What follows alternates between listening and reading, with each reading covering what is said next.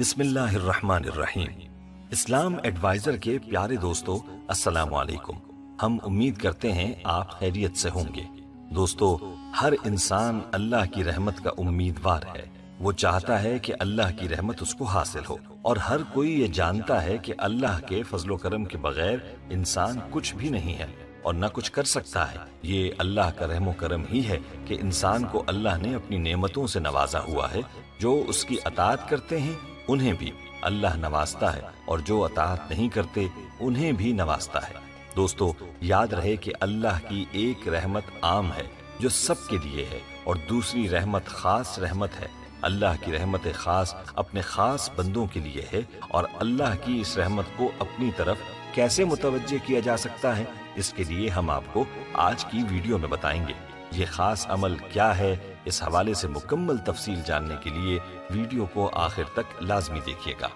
دوستو، ہم آپ کو آج کے ٹاپک کے حوالے سے تفصیل بھی بتائیں گے، لیکن اس سے پہلے آپ سے درخواست ہے کہ اگر آپ ہمارے چینل اسلام ایڈوائزر کی ویڈیو پہلی بار دیکھ رہے ہیں اور ابھی تک آپ نے ہمارا چینل سبسکرائب نہیں کیا، تو ابھی ہمارا چینل سبسکرائب کریں اور ساتھ ہی لگے بیل کے بٹن کو بھی پریس کریں تاکہ آپ کو مستقبل میں ہماری اپلوڈ ہونے والی مزید ویڈیوز کا نوٹیفیکیشن ملتا رہے۔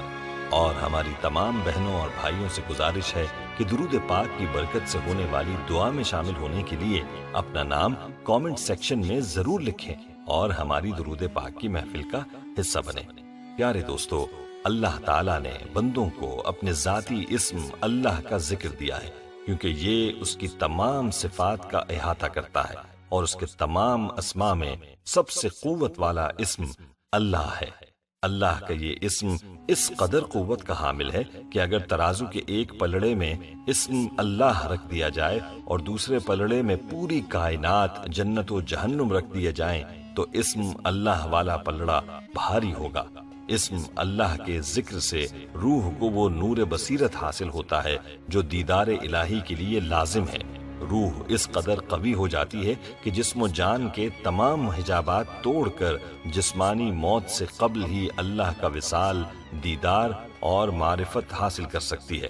چونکہ ذکر اللہ ہی انسانی مقصد حیات یعنی معرفت الہی کے حصول کی بنیاد ہے، اس لیے اللہ تعالی کی طرف سے حضور علیہ السلاۃ والسلام کو پہلی وہی اور سب سے پہلا حکم اللہ کے ذاتی نام کے ذکر کا تھا۔ اقرا بسم ربک الذی خلق۔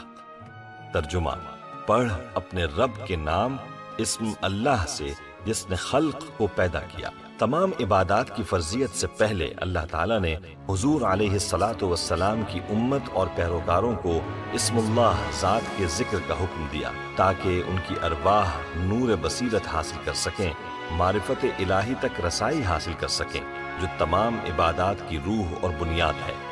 دین کی اس بنیاد کے مضبوط ہونے کے بعد ہی ان پر ظاہری عبادات فرض کی گئیں۔ دوستو، یاد رہے کہ اللہ اس میں ذات ہے اور ہم آپ کو آج جو عمل بتانے جا رہے ہیں، وہ عمل اس میں ذات اور ساتھ میں اللہ کے دو صفاتی ناموں کا ہے۔ اللہ کے وہ دو صفاتی نام رحمان اور رحیم ہیں۔ یہ دونوں کلمے عربی مادہ رحم سے مشتق ہیں اور مبالغہ کے سیغے میں ہیں۔ اس لیے دونوں کے معنوں میں کثرت و وحدت پایا جاتا ہے۔ وہ ہے بہت مہربان یا نہایت رحم کرنے والا۔ قرآن و حدیث کے دلائل سے واضح ہے کہ اللہ تعالیٰ جس طرح دنیا میں مومنوں پر مہربان ہے، اسی طرح کافروں اور عازی نافرمانوں پر بھی مہربان ہے۔ بلکہ وہ تو کائنات کی ساری مخلوقات پر از حد مہربان ہے۔ یہ بات تجربات و مشاہدات سے بھی واضح ہے۔ اگر اللہ کی مہربانی عام نہیں ہوتی تو کافروں، ملحدوں، مشرکوں، نافرمانوں، آسیوں اور ظالموں کو کبھی رزق نہیں ملتا۔ انہیں کبھی دنیاوی سکون میسر نہیں ہوتا۔ انہیں اللہ کی نعمتوں، مثلا سورج، چاند، ستارے، زمین، پانی، ہوا وغیرہ سے فائدہ اٹھانے کا کوئی حق نہیں ہوتا، بلکہ یہ کہہ لیں کہ انہیں سانس لینے کا بھی حق نہیں پہنچتا۔ لیکن چونکہ یہ بھی اللہ کے بندے اور اس کی مخلوق ہیں، اسی وجہ سے اللہ کی دنیاوی نعمتوں سے فائدہ اٹھانا اللہ کی مہربانی عام ہونے کی دلیل ہے۔ پیارے دوستو، آپ کو یہ بتاتے چلیں، اکثر علماء کے نام سے یہ قول مشہور ہے کہ رحمان کی صفت عام ہے، جس میں مومن و کافر دونوں شامل ہیں، جبکہ رحیم کی صفت خاص ہے جو آخرت میں مومنوں کے لیے ہے۔ اس لیے بعض لوگ اس طرح اللہ سے دعا کرتے ہیں یا رحمان الدنیا و یا رحیم الآخرہ اے دنیا کے رحمان اور اے آخرت کے رحیم۔ دوستو، یاد رہے، قرآن پاک میں رحمان و رحیم متعدد بار آیا ہے۔ بعض مقامات پر رحمان مومنوں کے لیے استعمال ہوا ہے، تو بعض مقامات پر رحیم مومنوں کے لیے آیا ہے۔ اور بعض مقامات پر یہ الفاظ عام ہیں جن کا مطلب یہ نکلتا ہے کہ رحمان و رحیم دونوں کلمے مہربانی کے معنی میں سارے بندوں، مومنوں، کافر کے لیے عام ہیں۔ دوستو، آئیے اب آپ کو بتاتے ہیں کہ چلتے پھرتے یا اللہ، یا رحمانو یا رحیموں کا ورد کرنے سے آپ کیسے اللہ کی رحمت کو اپنی جانب راغب کر سکتے ہیں؟ دوستو، اس بارے میں تو آپ نے تفصیل جان لی کہ ان ناموں میں اللہ کی صفات رحمان و رحیم کا حد درجے مبالغہ پایا جاتا ہے اور جب بندہ ان ناموں کی کثرت کرتا ہے تو اللہ کی رحمت اس کے ساتھ ہو جاتی ہے۔ رحمت کے فرشتے اس کو اللہ کی رحمت سے ڈھانپے رکھتے ہیں اور جب اللہ کی رحمت ساتھ ہو جاتی ہے تو پھر بندے کو نہ کسی چیز کا خوف رہتا ہے نہ ڈر۔ ایسے انسان کی زندگی پرسکون ہو جاتی ہے۔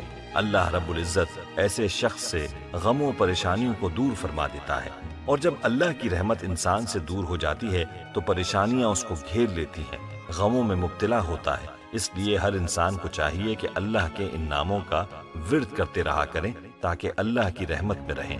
دوستو، یاد رہے کہ جب انسان کے ساتھ اللہ کی رحمت شامل حال ہو جاتی ہے، تو پھر انسان کو نیکی کی اور نیک کاموں کی توفیق ملتی ہے۔ جیسا کہ روایت ہے کہ جس شخص کو اللہ رحمت کی نگاہ سے دیکھتے ہیں، اس شخص کو اپنے گھر میں اکثر نماز پڑھنے کی توفیق دیتے ہیں۔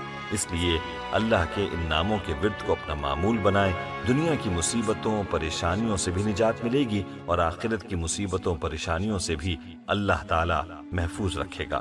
دوستو، اللہ کے ناموں رحمان اور رحیم کے بارے میں ابن عباس رضی اللہ تعالی عنہ فرماتے ہیں، یہ دونوں اسم مہربانی پر دلائل ہیں اور ایک دوسرے کی نسبت زیادتی اور مبالغہ پایا جاتا ہے۔ پھر یہ زیادتی کبھی مقدار کی کمی بیشی کے لحاظ سے ہوتی ہے یعنی رحمت سے فائدہ اٹھانے والے زیادہ ہوتے ہیں۔ اس اعتبار سے اللہ کو رحمان الدنیا و رحیم الاخرہ کہتے ہیں، کیونکہ رحمت آخرت میں صرف پرہیزگاروں کا حصہ ہے۔ آخرت میں رحمت سے فائدہ اٹھانے والے صرف مومن ہوں گے اور دنیا میں سبھی لوگ فائدہ اٹھانے والے ہیں۔ مومن بھی اور کافر بھی۔ اور کبھی یہ زیادتی محض کیفیت کے لحاظ سے ہوتی ہے۔ اس لحاظ سے اللہ کو رحمان الدنیا والآخرہ و رحیم الدنیا کہتے ہیں، کیونکہ آخرت کی تمام نعمتیں بیش قیمت ہیں اور دنیا کی بعض نعمتیں حقیر ہیں اور بعض جلیل القدر۔ چونکہ لفظ رحمان اعلام کی طرح ہے، اللہ تعالیٰ کے ساتھ مخصوص ہے۔ اس لیے لفظ رحیم پر مقدم رکھا گیا ہے اور دوسری وجہ یہ ہے کہ رحمت کو تقدم زمانی حاصل ہے اور عموم رحمت دنیا میں مقدم ہے۔ دوستو، الحسیب وہ ذات ہے جو تمہارے سانس بھی گنتی ہے، جو اپنے فضل و کرم سے تمہاری مشکل کشائی فرماتی ہے، جس سے خیر کی امید کی جائے۔ جس کے فضل و کرم کے بعد کسی کی ضرورت نہ ہو، جو اپنی طاقت سے ہر مصیبت ٹال دے۔ الحسیب وہ ذات ہے جس کے سامنے ضروریات پیش کی جائیں تو فوراً پوری کر دے۔ اور جب کسی کے بارے میں فیصلہ کرے تو اٹل اور ناقابل تردید ہو۔ اس لیے بندوں کو چاہیے کہ ایسی ہی ذات کو پکاریں جو کہ حقیقی معنوں میں پکارنے کے لائق ہے اور ہر مشکل کی چابی اس کے پاس ہے۔ اللہ رب العزت سے دعا ہے کہ اللہ ہمیں اپنی رحمت سے مالا مال فرما دے اور اپنی ان صفات کے توفیل ہمیں دنیا میں بھی اور آخرت میں بھی اپنی رحمت کے سائے میں جگہ عطا فرمائے۔ دوستو، آج کی ویڈیو کو اپنے دوستوں کے ساتھ زیادہ سے زیادہ شیئر کریں اور اگر آپ چاہتے ہیں کہ ہم آپ کے لیے آپ کی مرضی کا کوئی وظیفہ یا موضوع لے کر آئیں تو آپ اس بارے میں ہمیں کامنٹ سیکشن میں بتا سکتے ہیں۔ آخر میں آپ سے ایک بار پھر درخواست کہ درود پاک کی برکت سے ہونے والی دعا میں شامل ہونے کے لیے اپنا نام کامنٹ سیکشن میں ضرور لکھیں اور ہماری درود پاک کی محفل کا حصہ بنیں۔ پیارے دوستو، ہم یہ امید کرتے ہیں کہ آپ کو ہماری آج کی یہ ویڈیو ضرور پسند آئی ہوگی۔ اگر آپ کو ہماری آج کی یہ ویڈیو پسند آئی ہے، تو سب سے پہلے تو اس کو لائک کریں اور اپنی رائے کا اظہار کامنٹ سیکشن میں کریں۔ اور آپ سے ایک بار پھر درخواست ہے کہ آپ ہمارے چینل اسلام ایڈوائزر کو ضرور سبسکرائب کر لیں اور ساتھ ہی لگے گھنٹی کے بٹن کو بھی کلک کریں تاکہ آپ کے پاس ہماری آنے والی مزید ویڈیوز کا نوٹیفیکیشن ملتا رہے۔ اللہ تعالی ہمیں زندگی میں آسانیاں عطا فرمائے اور آسانیاں تقسیم کرنے کی توفیق عطا فرمائے۔ آمین۔